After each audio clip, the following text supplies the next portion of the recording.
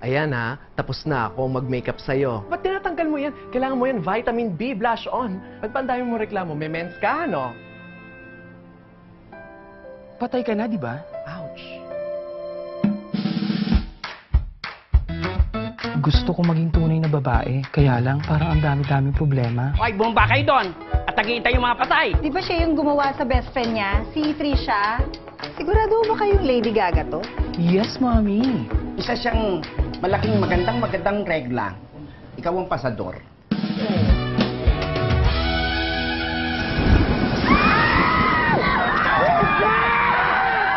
Dapat ako yung tinamaan ng kidlat eh. Ay! Ba't ganyan na itsura mo? Mukha kang tomboy na nag-aalok ng bear brand. binigyan ka ng Panginoong Diyos ng pagkakataon upang itama ang iyong mga mali.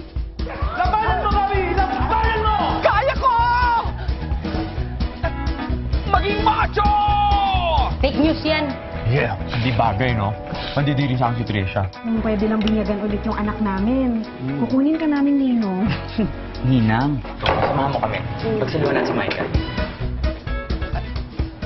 Namiss kita. Barbs, dapat hindi na lang kita pinakawalan. Ang bango-bango ng bulaklak. Pinag-aagawa ng dalawang bubuyog. Tara na, Barbs, sakay na. The Barbs, dito ka sumakay. Dito ka na sa taxi ko, aircon pa. Mas presko dito. Mas masarap yung simoy ng hangin. At talikabok. My greatest realization about love is that love has no limits. Hindi napupuno ang puso. I am Barbs Cordero na nagsasabi na magmahal ka hindi lang sa abot ng iyong makakaya, kundi magmahal ka sa dami ng iyong makakaya. And I thank you. Lalaking lalaki na kayo. Sa kilos, sa salita, at sa gawa. Boom, boom, pow!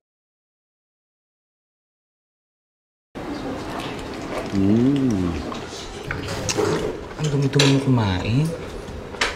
Ikaw rin. May dumi ka rin.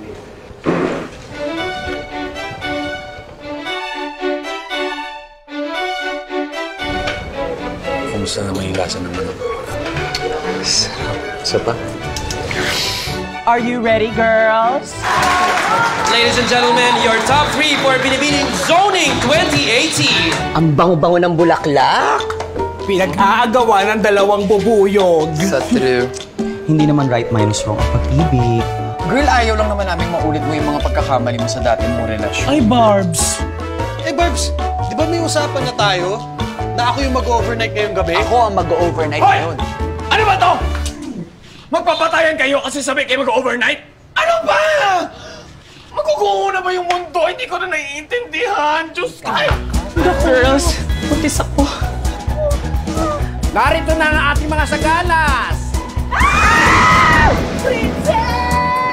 Dapat ako yung tinamaan ng kidlat eh. Eh, putang ina ka! Ba't ganyan na itsura mo? Kang tomboy na nag-aalok ng bear brand. Binigyan ka ng pagkakataon upang itama ang iyong mga mali. Ito ang nawawalang bayag mo. Labanan mo, Bobby! Labanan mo! Huwag kang susuko, Bobby! Bayag ko! Bayag ko!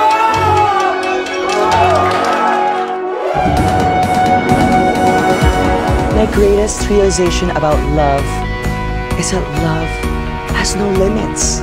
Hindi napupuno ang puso. I am Barbs Cordero na nagsasabi na magmahal ka hindi lang sa abot ng iyong makakaya, kundi magmahal ka sa dami ng iyong makakaya. And I thank you. Bobby ang pangalan ko, lalaki ako, straight ako. Wow.